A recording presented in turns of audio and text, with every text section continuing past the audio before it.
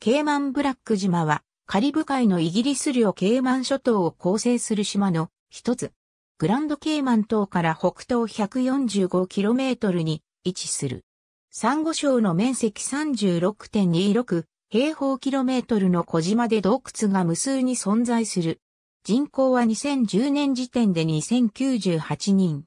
ウェストエンドが島最大の町である。島民は自分たちのことをブラッカーズと呼んでいる。付近のリトルケーマン島はシスターの島と呼ばれている。島唯一の空港、ジェラルド・スミス空港があり、グランドケーマン島の ONW ロバーツ国際空港が唯一の便である。1503年、クリストファー・コロンブスにより、リトルケーマン島と共に発見された。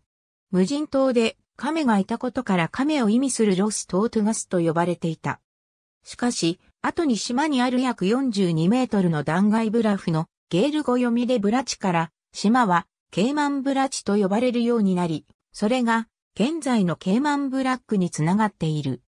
島の最初の住民は海賊や難破船の船員や逃亡奴隷の黒人で、島の本格的な入植は1833年、グランドケーマン島のイギリス人の亀などを捕獲している漁師でグランドケーマン島からブラックケーマン島に移り住んだ。